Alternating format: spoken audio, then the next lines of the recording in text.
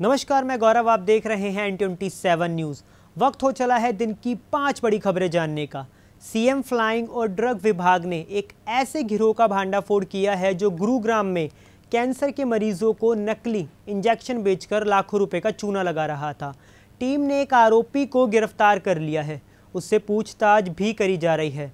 बताया जा रहा है कि आरोपी अब तक मरीज़ को 10 लाख रुपए के नकली इंजेक्शन बेच चुका था। अधिकारियों का कहना है कि साइबर सिटी के नामी अस्पताल में कैंसर के नाम पर नकली इंजेक्शन लगाए जा रहे थे। और ये तब आलम है जब कैंसर एक इतनी भयानक बीमारी है और उसका इलाज खुद ही इतना खर्चीला है और उस पर से नकली इंजेक्शन बेचना, ये अपने आप में ही बहुत शर्मसार कर देने वाली बात है। अब आइए रुक करते हैं दूसरी बड़ी खबर का। पंजाब पुलिस ने खालिस्तान समर्थक अमृतपाल सिंह को गिरफ़्तार कर लिया है। अमृतपाल को मोगा के रोडेवाल गुरुद्वारा से हिरासत में लिया गया था, जिसके बाद भटिंडा एयरपोर्ट से स्पेशल विमान के ज़रिए असम की डिब्रूगढ़ जेल भेज दिया गया है। पहले कहा जा रहा था कि अमृतपाल ने सरेंडर किया है। इसको लेकर पंजाब पुलिस के आईजी ने बताया कि उसे केंद्रीय एजेंसियों के साथ संयुक्त ऑपरेशन में गिरफ़्तार किया गया है, ना कि उसने सरेंडर किया है। अब रुक करते हैं तीसरी बड़ी खबर का। महाराष्ट्र के पुणे में शनिवार और रविवार के दरमियान रात एक बहुत बड़ा हादसा हुआ। यहाँ 31 टन चीनी की बोरियाँ लादे जा रहा एक ट्रक एक बस से टकरा गया। इसमें चार लोगों की मौत हो गई, वहीं 18 लोग आपको बता दें गंभीर रूप से घायल हैं। हादसे की सूचना के बाद पुलिस टीम मौके पर पहुँची और घायलों को अस्पताल पहुँचाया गया। प्रधानमंत्री नरेंद्र मोदी को पूरा देश बिना थके और बिना रुके काम करने वाले नेता के रूप में जानता है। एक बार फिर उनके दौरे का शेड्यूल सामने आया है। पीएम मोदी 24 और 25 अप्रैल को दो दिवसीय दौरे पर अलग अलग राज्यों में जाएँगे। वह उत्तर में दिल्ली से शुरू होकर सबसे पहले मध्य भारत, यानी मध्य प्रदेश की यात्रा करेंगे।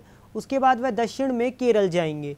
और फिर पश्चिम में केंद्र शासित प्रदेश दादर नगर हवेली में उनका प्रवास होगा। अंत में पीएम दिल्ली वापस लौटेंगे। पीएम मोदी की 36 घंटे में सात शहरों में अलग अलग कार्यक्रम में हिस्सा लेंगे। अब रुक करते हैं पांचवी और अंतिम खबर का। अफ़गानिस्तान में आतंकी हमलों का खतरा ज़्यादा रहता है, इसलिए यहाँ उन्हीं जवानों को तैनात किया जाता है जिनके पास खास तरीके की कमांडो ट्रेनिंग होती है। अब आपको बता दें कि इस पर आईटीबीपी की महिला कमांडो अब अफ़गानिस्तान के काबुल में भारतीय दूतावास की सुरक्षा की कमान संभालेगी। इन महिलाओं को खास तरीके का प्रशिक्षण पंचकुला के भानु स्थित आईटीबी के प्रशिक्षण केंद्र में दिया गया है। 19 महिला कमांडो को खास तरीके की ट्रेनिंग दी गई है। छः सप्ताह की ट्रेनिंग के बाद इन महिलाओं के पास हेलीकॉप्टर से छलांग लगाने, तैराकी और हथियार चलाने की पूरी निपुणता हासिल हो गई है। तो आपको आज का न्यूज़ मेकर शो कैसा लगा और दिन की पाँच बड़ी खबरों पर आपकी क्या राय है कमेंट सेक्शन में ज़रूर बताइएगा और देखते रहिए ट्वेंटी सेवन न्यूज़